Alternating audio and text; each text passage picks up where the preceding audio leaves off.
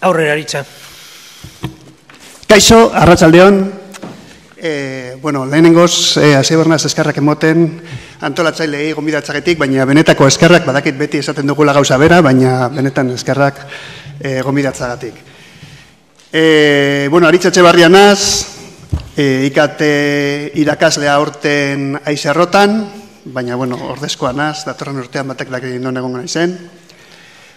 Aurten, aizerrotara eltzerakoan, e, batxar bat izan genuen, eta, bueno, ikateko maila aurreratua e, lortu nahi genuen, eta aulesia bat genuen, eta, bueno, irakaslearen kuadernoa zan. Nik 2008an kuaderno bat egin nuen, oso frikia naizelako eta gaur goizean pizkat aserretu naz, e, beti egon dira esaten oso frikiak zarete, oso frikiak zarete, baina niri ez diate esan oso frikia naizela, eta ni oso frikia naiz. Asko gustatzen zait programatzea eta horregitek hau egin dut. Eta, bueno, Marianek gure zuzendariak esan zuenean kuaderno bat genuela, nik erakutzen nion 2008an egindakoa, eta esan zian, bengaritza, ba, egingo duzu kuaderno digitala guretzako. Eta joan zen. Eta atea izterakoan, geratu nintzen horrela eta esan nuen. Barkatu, eh? De puta madre! Egingo dut nik nahi dudan kuadernoa, bakarrik esan dit, egin kuaderno digitala, posa, Orduan, nik nahi dudan bezala egin dut, gero lankidek gauza asko eskatu dizkiate, eta bueno, gauza horiek e, garatzen joan naz, eta bueno, saiatu naz egiten. Bi atal ditu kuaderno honek, eta ziren flipatuko duzu ez, e, erakutsiko dudan kuadernoa ez, duku, ez dauka zer ikusirik Googleekin, baina gero, badauka zer ikusirik, orduan patzintzia bizka bat eskatzen dizuet, eta Joseba, parkatu pasatzen mandaz denboraz, abisatu, bai? Bueno, orain erakutsiko dizuet, bai kuadernoaren ezaugarri normalak. Googleerekin e, zer ikusi ez dutenak, bai? Bueno, kuaderno digital arrun bat da, sartzen zara zure pasaitzarekin eta bar, sartzerakoan, e, bueno, badibes hor bi abizu ditut, lehenengoz ba, Lasne González Donzelen elkarrizketa behar dudala, ze tresnau, bueno, tresnau da, irakaslearen kuadernoa. Lehenengo pausua izan zen pentsatzea, bueno, kuaderno baten egiten duguna normalean, e, ordenagailura pasatuko dut. Baina gero, ba, saiatuko gara, ikateko, oza, nire, niretzako zenez, esan duen, bueno, ber, haunek nola arrestuko dit niri lana, ezta? Ze, beti arazoa, ordenako tresnak eh, implantatzen dituzunean, da, bai, hau lana duplikatzea da. Bueno, txartu egiten badira, bai, baina zentxuz, pentsatzen baduzu apurtzu bat, ba, lana horrezten duzu. Lana duplikatzea da, adibidez, kuadernoan notak apuntatzea, gero Excel bat sortzea, Excel horretan e, formulak egitea nota kalkulatzeko eta ez dakizer, eta gero berriro ere pasatzea Eusko Jarlaritzako aplikazioa. Ba, hori, hori da nire ustez lana duplikatzea. Eta bar, eta bar, eta, eta bar. Zta? Orduan, bueno, sartzen garenean oso harin eh? E, bueno, taldeak daude, E, gero tutore bazara ere zure tutoretza taldea gertzen da hemen, eta talde bakoitzan, ba, zieran, ba, faltak, justifikazioak eta bar jarritzak ezu, edo, ohar bat, ez txarto portatu da, edo dena delakoa. Eta ikaslea sakatuz, ikus dezakezu, ba, jarri dituzun nota guztiak, ikasgai horretan, eta intzientzia guztiak, noiz falta duen, eta bar, eta bar. Gero nola, Eusko Jarlaritzako aplikazioa hain erosoa denez, eta astero jartzen dituenez faltak sartu behar ditugu astero, ba hemen ere astero sartu ditut jarri behar ditugun falta guztiak, ba, errezago izateko pasatzea mendik e, Eusko Jarlaritzeko kuadernara. Nire lankide askok hemen ez dituzte faltak jartzen, ze hori bai dela duplikatzea lana, baina bueno, batzuk jartzen dituzte, beste batzuk ez, gauza batzuk hautaskoak dira. Guztiok egin duguna da notak eh, jarri hemen kuadernoan. Eta bi arrazoi bategatik bat batetik erosoa delako erakotxek dizu eta ez hemen aukeratzen dugu edo zein ebalazio e, aukeratzen dugu talde bat eta hemen zutabeak ditugu eta sor ditzakegu zutabeak notak jartzeko eta portzentai bat jarri adibidez lan bat gehitu dezakegu jar dezakegu data bat horren lana bidaltzeko kode bat jartzen diogu adibidez demo bai lanaren deskripzio bat nahi duguna eta balio bat portzentaian euneko hogei, adibidez, bai, ezta? Eta honek sortarazten du beste zutabe bat hemen, eta orduan hemen notak jartzerakoan, bos bat jartzen badiot, bir kalkulatzen dit globala, bai? Eta behitu beti aldatu dezaket, eta hor nota duki. Hau nahiko erabilgarria da, ba, hori, ja, Excelek eta horrelakorik ez egiteko, zuzenean hemen notak jartzeko, eta bar. Gero plusak eta minusak jarritzak egu, adibes txartu portatzen bada, plus, plus bat jartzen diogu, eta zerbait azaltzen dugu, eta gero edo momentuan, ba, behiratu ditzakegu jarritako plus guztiak, edo minusak guztiak, eta bar, eta bar. Oso noaz, e, nahi dena saldu da Googleena, baina, bueno, pizkat ikus dezazuen, programazioa ere jardait, e, sardezakezu, adibes, ba, gaur, ba, ez dakit.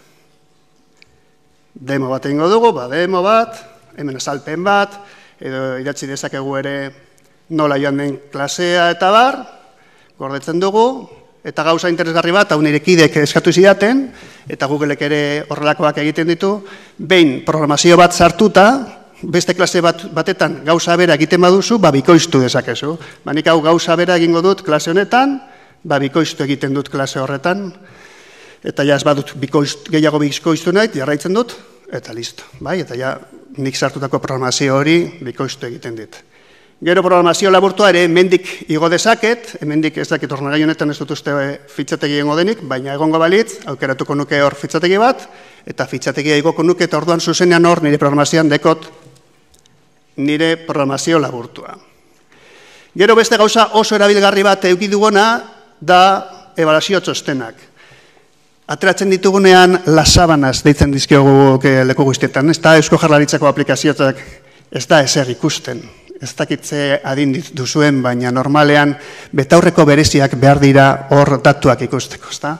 Ba, nik, e, bueno, sortu duguna, da gauzatxo bat kolorekin askar eta berean abertzen dena, ba, nordoan ondo eta nordoa txarto. Ez da? Dena nota honak baldin baditu, ez dago kolorerik, eta suspenso txikiak baldin badira, ba hor ikusten dituzu, adibidez hemen, lau bat, laran jaz, baina errekuperatuta du, ja, dagoeneko, bai? Eta batzuk, ba, nota txarragoak dituztenak gorriz daude. Datu hauek danak faltsuak dira, eh? Hau da, demo bat, hemen sartu zaitezkete, kuadernoa.eu webgunera joten bazarete, hor, bueno, demo bat dago eta sar zaitezkete, eta erabili, eta ez dakiz zer. Eta, bueno, hau bezala, Gero tutoretza oso importantea da ere, tutoretzan e, gauza asko ditu, adibidez jarraipenan ikus dezakezu irakasleek jarritako nota guztiek, bai, hau ere gaur goizean esaten zuten Googleeko aplikazioak oso demokratikoak zirela, eta esan dut, ostras, hori nire aurkezpenerako. Hau ere oso demokratikoa da, ze irakasle guztiek jartzen dituzten nota guztiek tutoreak ikusten ditu. Bai? Orduan, elkarrizketa bat baldin badu guraso batekin, behar zakatzen du hemen jarraipenan, eta ikusten ditu e, ikasgai bakoitzeko, evaluazio evaluazio, nota guztiak, intzidentziak, eta leku baten dana jarraian dago. Bai? Elkarrizketak ere zor daitezke, hori, baldin baduzu elkarrizketa bat guraso batekin zor dezakezu, eta orduan, irakasle guztiei e-mail bat heltzen zaie, eta kuadernoan sartzen direnean, horrela dute, horrelako link bat hemen, edo mesu bat, ez da, informazioa betetzeko. Eta nola betetzen da informazioa? Ba oso erraz, lau, lau atal bakarrik, klasiko portara egokia da, beti, etzerako lanak egiten du, gutxitan, klasean adi dago, ia beti, elkarbitzik edo bere beti, eta gero hemen idazten dugu, ba nahi dugun, ez da? Eta hau dana, gordetzen da, ikaslearen, tutorea doanean tutoretzara, elkarrizketak ikustera doa, eta ikusten du edozein elkarrizketa, eta hor irakasle guztiek jarritako guztia eta nota guztiak ikusten dituta. Hemendik txosten bat deko irakaslekin gurasekin hitz egiteko, non dana deko jarraian. Bai? Ulertzen da? Bai? Oso harin baldi manua eta norbetek zerbait ikusi nahi badu lasaiago, esan dezala. Eta gero, bueno, beste gauza begei ditu, oharrak sarditzakezu, matxurak kudeatu ditzakezu, gela errezerbak ere egin ditzakezu, e, irteirak ere ebendik jarritzakezu, edo gitegia ikusi, aber noiz diren ebalazioak, ez dakiz er, bueno, kuaderno normal bat da, bai? Baina, esango duzue, este tio, zer, hau zer, zer, zer demontre da, zer, eh, zer gaitik etorri da hemen Googleeko e, jardunaldi hauetara. Ba, bueno, ni ere irakaslean az, eta aurten hasi nintzen kuaderno egiten, eta ere Google Classroom batipat erabiltzen. Eta zen nintzen Google Classroomen notak jartzen. Eta zen nintzen Google Classroomeko notak pasatzen handik nire kuadernora. eta esan nuen, unai nomaz, Santo Tomas. Orduan egin nuena da, kuadernoa integratu Google, Googleeko zerbitzuekin. Ze zerbitzuekin? Ba, batipat, iru zerbitzuekin. Bata, oauz, deitzen dela, eta da, sartzeko pasaitza erabiltzeko, bai?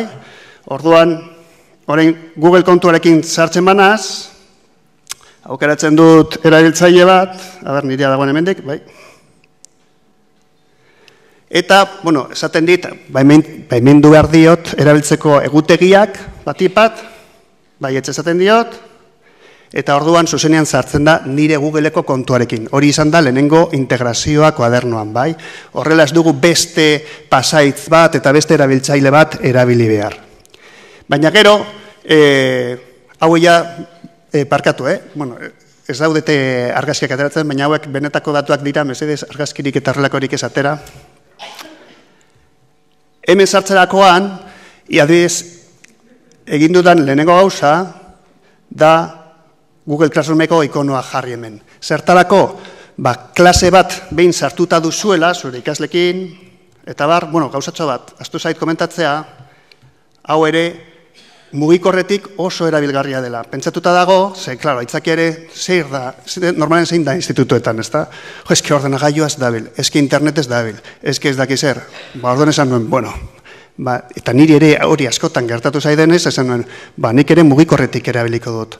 Orduan programa webgune bat denez, responsive deitzen da, hau, teknik, teknologia hau, moldatzen da mugikorrera, eta orduan gauzak aldatzen dira lekuz, eta zuzenian mugikor hau mugikorren tamaina bat izango du gutxi gora bera eta orduan mugikorretik ere erabil daiteke. Baina bueno, esan nahi nuena da Google Classroomeko integrazio hau egin dudala da hemen sakatu eskero sortu dezakezu Google Classroomeko gela bat zuzenean. Ez daukazu zertan e, bidali, emaila guztiei, databasean, ikastetxeko databasean, kuadernoan baldin badituz ikasleak, sortu nahi baduzu gela bat, bajartzen diozu izena, klase honet, kasu honetan, hartzen dizu klaseko izena, lehenengo baimendu behar duzu Classroomeko Classroomen erabiltzera eta sortu dezakezu Google Classroomeko ikasleak. Ez dut egingo, ze esan dizu denez, hauek benetako datuak dira eta orduan nire ikasleak jasoko zuten beste gonbidapen bat, beste klase batera lortzeko. Baina bai ikusiko duguna, da nola integratzen den Google Classroomena, Google Classroom e, notekin, bai? Adibidez, lehenengo evaluazioko notak aldatuko ditut, jango naz klase batera, eta hemen ere ikonotzoa dago. Zertarako Google Classroomeko notak zurgatzeko. Bai? Orduan hemen, zakatzen dut, Eta honek egiten duena da, Google Classroomeko ikastaro guztiak irakurtzen ditut. Nik lau ikastaro ditut, lehenengoa proba bat da, ikus dezakezunez, eta beste guztiak dira nire klasekoak. Bai? Orduan aukera dut gela bat, informatika, eta hartzen ditu nik Google Classroomen egindako lan guztiak. Bai? Eta hartuko dut hasierakoak, ze hasieran bai jartzen dituen notak, baina gero lortu arte hau zurgatze automatikoki utzi nion Classroomen notak jartzeari, ez nituen duplikatu, ezta? Orduan hasieran baditut notak. Adibidez, hemen faktura lan honetan sakatzen badut hartzen ditut zurgatu di, zurgatu dizkit nota guztiak, nik jarritako nota guztiak, Classroomen. Ze Classroomen notak jartzeare oso ondo dago, ze da jokion ikasleari iruzkinak bota aldizkiozu, eta bar, eta gauza asko komentatu aldizkiozu. Hemen kode bat jartzen diogu, fak, adibidez, fakturakoa, ez da ingeles ez izan, euskeraz izan da, parkatu, eta balioa, adibidez, euneko hogei, bai? Eta orduan, notak eskuratu sakatzerakoan, zutabe bat gehitzen zait, nire kuadernoan, bai, hemen duzue, Google Classroomeko nota guztiekin. Bai? Bestaldetik, beste integrazio bat Google Classroomen e, egin dut programazietan, eta ja maitzen ari naz, ez da, denbora da, ez da? Perkatu? Zero minutu. Orduan, bueno, hau da kuadernoa, erabilina nahi baduzue, libre e izango da, ekainan liberatuko dut, eta hori bai informatikariak izan berko zaretez ez da erreza instalatzea ikastetxe baten, baina bueno, hor webune bat sortu dut, kuadernoa.eu, eta hor informazioa aurkitu dezakezuen, nire kontaktua ere harremanetan jarri nahi baduzue. Ezkerrik asko.